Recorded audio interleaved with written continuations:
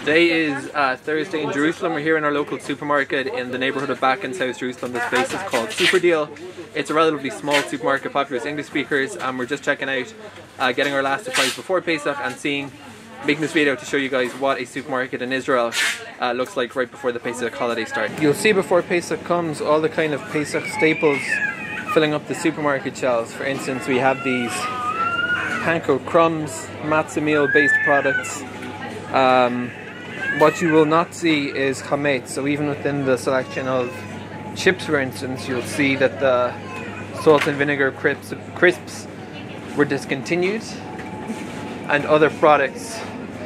So generally in Israel, all the products have um, some kind of a kosher certification. It can be parv, basari, or chalavi. And what you'll see before Pesach is that the certifications are all, it says here in Hebrew, kasher la Pesach. That means it's kosher for Pesach. In fact, it says also here in English. So all the products are flipped out in the weeks before Pesach so that by the time that it comes to uh, do your last minute shopping or even for that matter shop during the holiday of Pesach, the intermediate days of Chol Hamoed, everything's already turned over. What they do as well is they kind of blank off shelves. So for instance, you're not supposed to see chametz um, during Pesach. So you do this in your own home. Typically, people use kind of you know tarpaulin, this kind of material, and that's why when you go into a supermarket before Pesach in Israel, you'll see all these random sections that are covered off. So in the chips aisle, everything. So this is another interesting instance where you'll have products that are sold the whole year, like these Doritos that says in Hebrew uh, Doritos. It's a local franchise from Elite, which is a big food company here.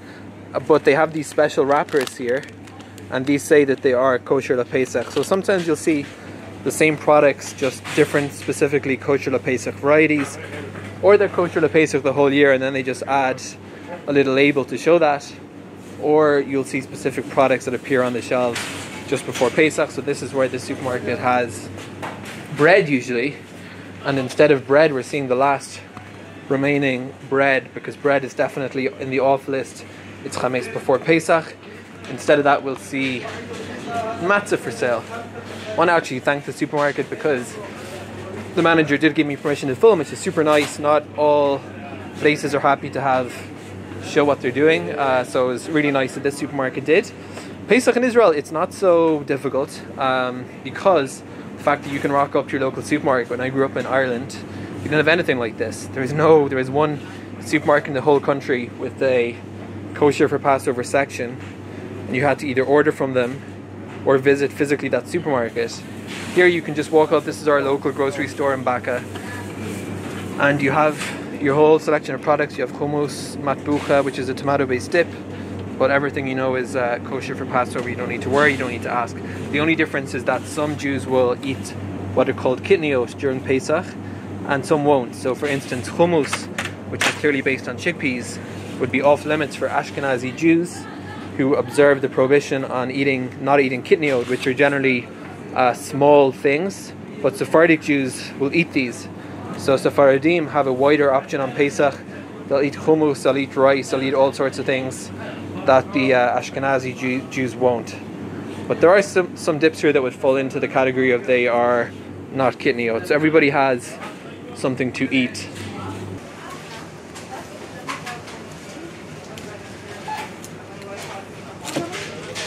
So, you know, I always focus on the priorities.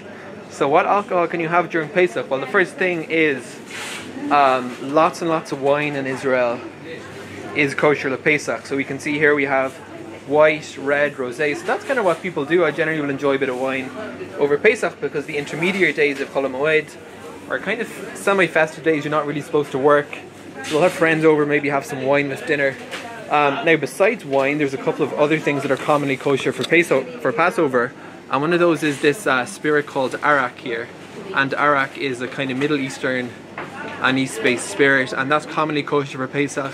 The other thing you'll, you'll see a lot of is uh, potato vodka, so specifically vodka that's brewed from potatoes, that's commonly kosher for Passover. And we have here other options, we can see lots of fizzy drinks. Clearly, certain things are uh, do not have to be certified kosher for Passover in the supermarket, such as these uh, these rolls. So that's it. There's lots of options, and we're just doing our uh, final shop here. This beer is for sure not kosher for Passover. It'll be cleared out before uh, Pesach begins. But yeah, there's lots of uh, lots of products here, and lots of people are doing their shopping just before the holiday begins here in Israel tomorrow.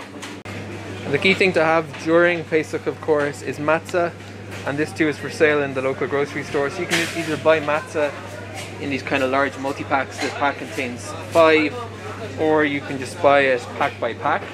Um, as well as that, you'll find different types of matzah catering to different dietary needs. So we have here matzah meal with spelt, oats, and different varieties for people, you know, um, who can't tolerate gluten. So there is, for instance, we have some whole spelt matzah that clearly does have gluten. But in the bigger supermarkets, you'll find matzah made out of oats, as I said, and stuff that is really gluten free.